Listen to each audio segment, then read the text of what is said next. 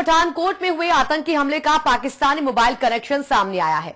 पठानकोट में घुसे आतंकियों ने पाकिस्तान में नौ दो तीन शून्य एक सात सात सात पाँच दो पाँच तीन और नौ दो तीन शून्य शून्य शून्य पाँच नौ सात दो एक दो मोबाइल नंबर पर फ़ोन किया था। ये फ़ोन हमले से पहले और हमले के दौरान किए गए थे। इन नंबर में से एक पर आतंकी ने अपनी माँ से बात की थी तो दूसरे नंबर पर आतंकी पाकिस्तान में बैठे, अपने आका के संपर्क में थे। इन नंबरों में नौ दो तीन शून्य एक सात सात सात पाँच दो पाँच तीन एक आतंकी की माँ का नंबर है और दूसरा नंबर आतंकियों के आका का है। आतंकियों ने अगवा किए गए टैक्सी ड्राइवर और एसपी के मोबाइल से ही इन दोनों नंबर पर फ़ोन किया था। यानी इकतीस दिसंबर की रात करीब सवा नौ बजे पहली कॉल नौ दो तीन शून्य शून्य शून्य पाँच नौ सात दो एक दो पर की गई। ये फ़ोन अगवा किए गए टैक्सी ड्राइवर इकागर सिंह से नंबर से की गई थी। आतंकियों ने इस नंबर से अपने आका को सिर्फ़ मिस कॉल दी थी।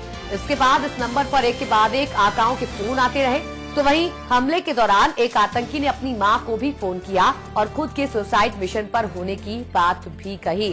तो मोबाइल कनेक्शन सामने आया है, पठानकोट हमले का। दो मोबाइल नंबर सामने आए हैं, जिनमें से एक आतंकियों की माँ का नंबर है तो दूसरा आतंकियों के आका का नंबर है, जिस पर वो पल पल जानकारी दे रहे थे। तो आतंकियों की गिरफ्त में आने से पहले टैक्सी ड्राइवर ने अपने चचेरे भाई से भी बात की थी और दो नंबर फ़िलहाल मोबाइल के सामने आए हैं, जिन पर आतंकी लगातार बात कर रहे थे।